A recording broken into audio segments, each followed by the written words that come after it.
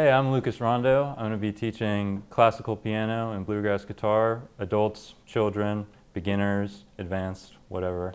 Um, and I'm just really excited to meet you guys. Come on down to the front porch. Um, I'm also working in the scheduling department, so I'll get a chance to meet you um, if you take with other teachers as well. So looking forward to seeing you down here.